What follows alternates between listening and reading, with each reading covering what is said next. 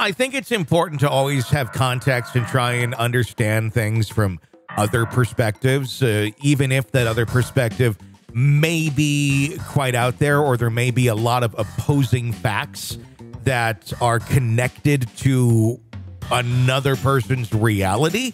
But the only way you're going to understand that other person's reality is if you take a listen to what some of those facts are. Uh, and sometimes it may even lead you to change an opinion. I'm not saying that my opinion is changing on what we're about to talk about, uh, but it is some interesting pieces that the defense of Bryan Kohberger uh, have been bringing up. It's uh, also having a lot to do with that 37 day stay, which uh, we're now up to a little bit more than about, uh, well, literally, we are about uh, two weeks out from that stay being up uh, in the uh, proceedings against uh, Bryan Kohberger. But uh, this is some some odd things that we've learned about in some of the filings that Kohberger's defense has been bringing to light. New court filings trickling in uh, and showing some of the complexities and potential cracks in the prosecution's case against Kohberger. I'm just saying, have an open mind uh, on this. I had an open mind on it too. I still stuck with my original opinion at the end of it. But I think it's interesting to look at this. Primary shocker in the saga is the presence of DNA evidence from three different men at the murder scene. Did you know that there was DNA from three different men at the murder scene, Stacey? I did not. This is absolutely new information. But I mean, this is my argument, and this is it was a party house. Where was the other DNA found? That's not necessarily really brought up here a whole lot. Uh, the revelation is made by defense attorney Jay Weston uh, Logsdon uh, in an objection to the state's motion for a protective order. Logsdon brought this to the forefront, stating that the investigators discovered DNA from two men inside the house and a third outside, all contained uh, on a glove. However, none of this DNA belonged to Kohberger. Moreover, Logsdon points out that the investigators never ran these samples through the combined DNA index system, CODIS, to find a potential match, which uh, this seems a little odd. Uh, why, if you found this DNA, why would you not at least take a, a shot at it? And I, I talked to uh, an individual that we're going to be having on the show here later in the week, Dan Crane, uh, about that uh, earlier today. Uh, and he's got some very interesting theories on it. Uh, one of them being they already had a pretty good match and they already had something pretty solid going and connecting dots that way that maybe they didn't want to get anything else into the ecosystem here as added noise where just because there's DNA somewhere doesn't mean it's necessarily that of a killer. Like I said, it was a party house. There was a lot of people coming and going. It was winter. Uh, if you go for a walk in winter in a uh, cold climate, I can guarantee you're going to find a glove somewhere on that walk laying in the snow. Uh, people drop them all the time. now, that glove never connected to the actual murder whatsoever, but uh, it, it is it is interesting that we're just kind of now learning about that aspect of it and and why they didn't run it. That that doesn't make a whole lot of sense. But the the key piece of DNA that was found uh, in the scene was on the knife sheath. Sheath. The defense, spearheaded by Kohberger and his lawyer, vehemently sought a detailed account of the use of genetic genealogy. Remember, this is how they connected uh, Kohberger's uh, father to him and to that knife sheath. This technique deployed by the FBI was instrumental in initially identifying Kohberger as the person of interest in the case. The state, however, has dismissed these results. They argue that the match between the DNA found on the knife sheath at the crime scene and the DNA from the buccal swab provided by Kohberger renders the genetic genealogy irrelevant to the trial, thereby ignoring its potential role in establishing the suspect's innocence or guilt. I don't quite So- understand that whole sentence. but So what what's happening here is they're going to put doubt in the jury's mind. that's They- what they're trying they- to do now. This is exactly what this is. It's a very pointed way for the defense to say, eh, here's something for you to think about. Mhm. And so a juror which by the way, I just got a jury summons, so I'm paying very close attention to this stuff. Um, they're going to be sitting there going, you know, what about this? And they may say to themselves, we think he's guilty, but then there's this one little nagging doubt that just got thrown out there. And you that, and that's the problem with this is the problem with juries.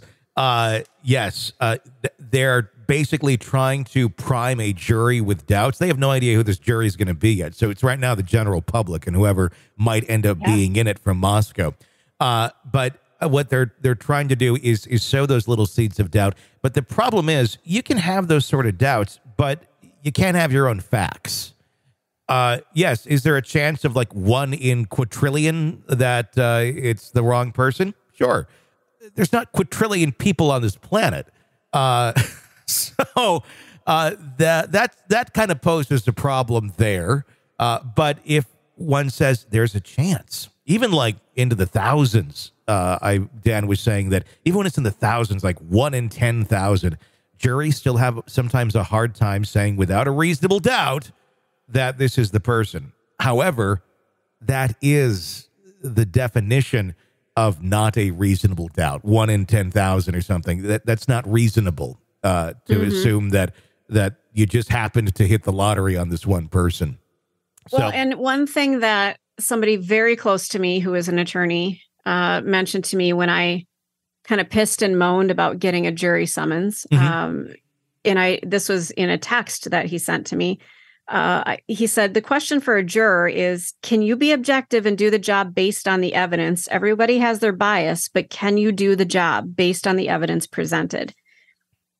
So, you know, I- don't I don't know. Everybody does have a bias and with all of the coverage that's out there, including what we're doing, eh, can somebody go in and put aside their bias and look at the evidence presented and and be fair? I don't know that anybody can. We all have our opinions on this case, don't yeah, we? oh sure, we do. I mean, a- and, I mean, but uh, I think a lot of people base their opinions on fact and on hard evidence. If we didn't have a lot of hard evidence in this case, I think there would be a lot more doubt. But there, I mean, there already is doubt from a lot of people, uh, which I don't quite honestly understand because I never really hear a really good, solid answer when I ask that question. Like, okay, cool, but why? What? Why don't you think? Well, and then it's usually brought up something where they've misunderstood something or misunderstood some piece of evidence and how it works and how it's checked and how it's identified and confirmed. And there's usually some sort of error in that way of thinking. And Yeah. and, and I, you know, I like to know if there's something that I'm thinking incorrectly or that uh, I'm basing an opinion on a incorrect, uh, what I'm viewing as a fact. A lot of people don't like that. A lot of people don't like the idea of being wrong. Uh, but if you're objective and can accept that sort of thing, then yeah, I think you can be impartial. But if you're like 90 some percent of the population that digs in and does not want to be wrong once they think they know the answer to something, despite new evidence or despite facts or despite things changing that you may not have understood at the time correctly, uh, then you have problems, uh, which is is why we have, you know, I think the issues that we do. I don't even know, Tony, if I could be.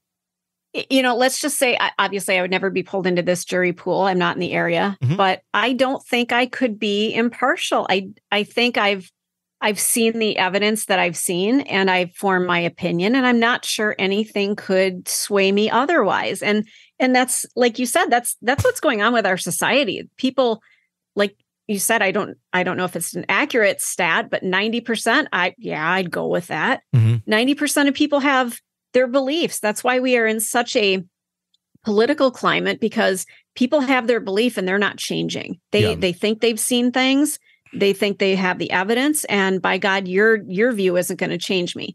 So I I think we are so stuck in our ways and we dig our heels in when we say I'm right, you can't change my mind.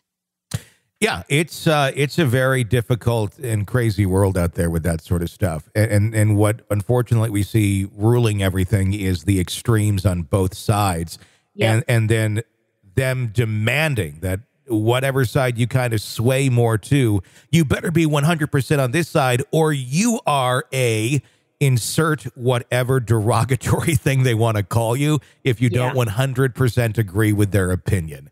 Uh, Yep. And it's, and it's a both sides issue. it is. It- it's it- 100%. yeah. in in any scenario it's not just political it's it has to do with life and death it has to do with so many other things it's it's all over the board we are a very um, black and white society and i don't mean in race we are it's either this way or it's that way and it's nothing in the middle We're completely polarized. Um, absolutely with the way that that all of that is. And I, I think it, it it then it doesn't just mean politics; it means anything, any way of thinking. Uh, and and if someone's really dug into something, and even though you know, I, I like facts, I like to show people facts. I like I said, I like to learn facts too. I'm cool with being wrong. That's how you grow. That's how you learn. But uh, not so much the case with a lot of people. And if you can't respond to facts appropriately, meaning take it in and understand that it's not a lie and it's not just something you can shove off and go, well, that's a conspiracy theory. Well, no, it's it's not. Mm, Uh, no, it's or not. it's like here. This is literally what happened. Here's the video. Here's them saying this. Here's the you know just like indisputable uh, questions about things, but people will still they like to stay in their world of being right. And we are now entering a new co- uh, complex place in life where AI will be very much a part of our lives and be able to reproduce uh, audio, video, uh, images, and it already can uh, to a strikingly scary accuracy of the real world that people find hard to tell the difference between. And that's just in its infancy. I can only imagine what's going to come out of the next handful of years and how quickly people will jump onto. So I saw that video of so and so saying this or doing that. Like, yeah, that wasn't real. Well, yeah, it was. And all you get, all it takes is one person, especially in politics, to go. That's interesting. But why Yeah. are, are you denying that that's that? Are you saying that that's not real? No, that's just interesting. You'll have people who will play to that, even if they know something is not accurate, and just go, hmm, you know. Uh, it's it, some. It's it's almost like uh, Trump not denouncing um, the Klan endorsing him. Right. You know, it's like like they just kind of. Well, I, I'm not a part of that, but do you denounce them? I'm not a part of it. You know, it's that, and I'm not trying to pick on Trump or Trump. I'm just using that as an example where presented with something that you know is completely fucking wrong, but Yeah. you, but you don't want to completely say no to it because in reality you're going to turn off thousands of people who think in a real fucked up way, but who also support you. And and then when you have AI type stuff coming in there to confuse the shit out of everyone, uh, it's it's going to get messy, far more messy than it is if you can uh, imagine that. But anyway, let's uh, talk more about the Kohberger case. Uh, in response uh, to the state's petition, uh, the defense has outlined their perception of the holes in the case, with the DNA conundrum being the first to be pointed out. Um, the presence of multiple DNA samples from different men at the crime scene should potentially account for the six weeks it took to apprehend Kohberger. During this time, many potential suspects were under investigation, their DNA samples collected, and their personal belongings examined for potential evidence. Moreover, the defense makes a startling claim. Despite the ongoing investigations and DNA examinations, there was a total absence of DNA evidence linking the victims to Kohberger's apartment, office, home, or vehicle. An allegation casts a shadow over the prosecution's claim and raises significant questions. I question that statement right there, quite honestly. Mm-hmm. That seems like a little bit of grandstanding because there was a lot of things taken from that home. And you know what? They don't have to reveal everything they found right now. They don't have no to say they don't that the blood like stains they found on a pillow uh, belong to someone. They don't have to say anything more about the ID cards that they found in Kohberger's glove boxes, other than, hey, it correlates to that home. Because who has just ID cards of random people in their glove box, especially the home that you're accused of murdering people in that you have nothing to do with? That just seems a little bit odd. Um, there's a lot here. And and they can say they don't have this. They don't know that. They don't do say whatever they want in grandstand. But there's going to be so many things that come out into this trial that we did not know about earlier that i, I think will really bring a lot of doubt to light and, and I, I think really shined light on where this is is truly going and who's truly at fault here. At the same point, the um, the defense of Kohberger could have some things too. They claim that they have that exonerating evidence. One would assume they would bring that out right now to exonerate him and end this. Uh, but maybe it's not quite as not uh, questionable as they like to make it sound. Another uncertainty and potential hole in the case is the identification of the suspect's car. Now, again, they use term big hole in the case. That's what they're trying to do, punch holes in this. I, I don't know how this is that questionable of one, but a lot of times it comes. This is really kind of coming down to the year of the car that they're they're arguing, if you will. The probable cause affidavit vaguely mentions a white sedan, but fails to disclose the maker model. Lawson reveals that only one sighting in the vehicle could definitively link it to a Hyundai Elantra, the model driven and owned by Kohberger. The uncertainty over how the police concluded that the car was an Elantra adds to the growing list of questions. Questions that will be answered in the trial, keep in mind. So they can throw all these questions out there right now because, again, they are trying to. And if you're a defense attorney, this is what you should be doing. They're vigorously trying to defend their client uh, and find any place that you can sow doubt where it may be. But maybe is is very much what it is. An FBI report dated March 21st, 2023, heavily relied on video footage of a car moving in the wrong direction and at the wrong time on Ridge Road. However, the details of this connection remain shrouded in ambiguity. Uh, amid all these doubts, as Kohberger delays uh, pro- providing an alibi, the prosecution also appears to be dragging their feet when it comes to establishing a clear motive as well, uh, adding more ambiguity. Ambu- ambu- I can never say this word. Ambiguity. Ambiguity. There we there go. go. Ambiguity. I always miss a syllable that I'm like, ah, to the proceedings. Logsdon points out that uh, as of his filing the objection, prosecutors have failed to present any evidence uh, of connection between Kohberger and the victims. So they're literally like saying they're, the prosecution hasn't provided anything. Along, wait a minute. And, and listen to all his- this. Wasn't his phone pinging Yes. to the area as well? There's a thousand things they've connected to him and the victims. That that's just a flat out BS line.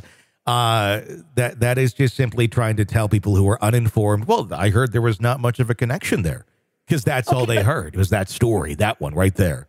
Right. So let's let's fast forward to a different time when he was back home and his family members said that he was wearing gloves. Yeah, and putting his I mean- trash in baggies. So there's a huge laundry list of things that that are suspicious and do connect him to the crime. Number one, the DNA on the knife sheath. There's a connection right there. Number two, the roommate did see someone looking, uh, matching Kohberger's description as best you can when you're wearing uh, a hooded uh, uh, over your face hoodie uh, mask, but very much matching the height. And they also said eyebrows. Uh, people are like, well, how do you see eyebrows through a hoodie? It depends how big your eye holes are cut. Quite honestly, sometimes you can. Uh, Yeah. There's also uh, the car, which they were looking for. And I'm sure it will be explained why and how they're looking for that very specific vehicle, uh, mainly because it was found on cameras around that area, uh, as well as the phone. His phone pinged him around the house for a long time leading up to this event. Then it pings showing him going to that direction. Uh, then it's mysteriously turning off during the murder time, and then mysteriously coming back on, driving out of the city, going back to his place of residence. Uh, the list does go on, but there is quite a bit that does uh, connect him to this. So saying there's nothing uh, is really being not truthful. Uh, I, I would say.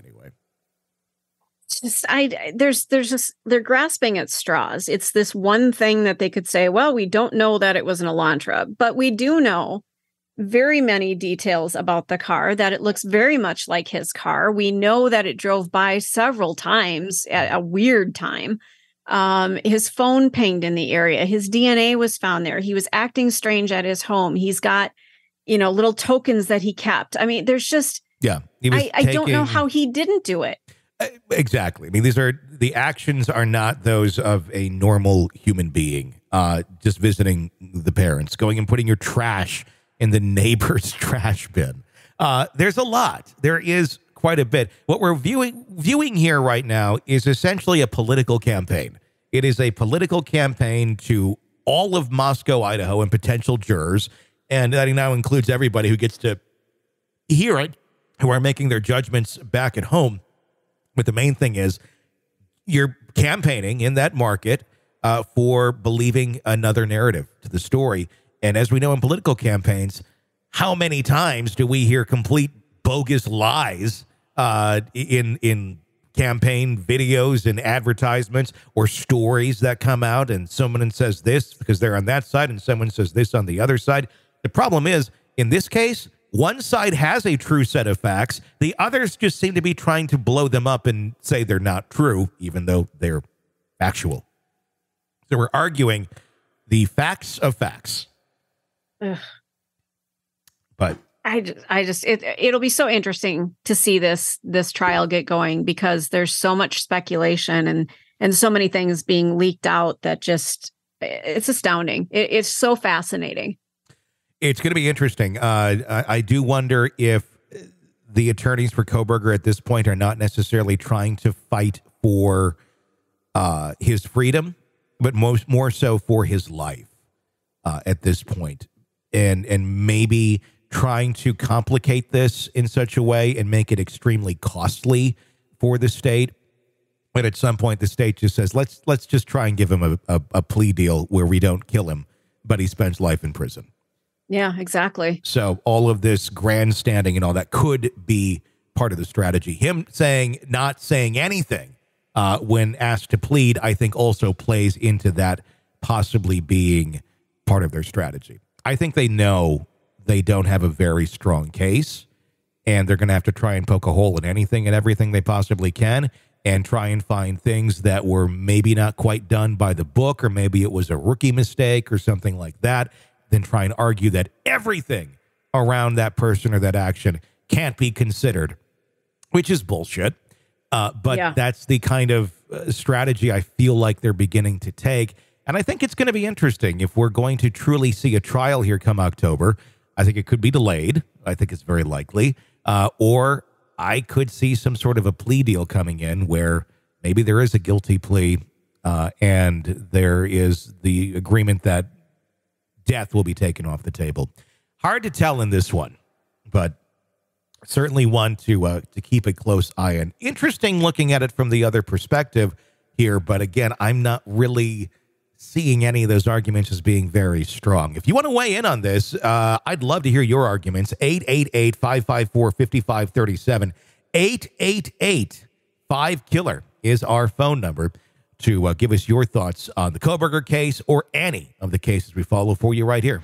You're locked into the Hidden Killers podcast. Want more? Start binging on all of our true crime podcasts right now through Apple Podcasts and get an ad free experience when you sign up to be a True Crime Today Premium Plus member exclusively on Apple Podcasts. More of the Hidden Killers podcast dropping soon. Press subscribe now.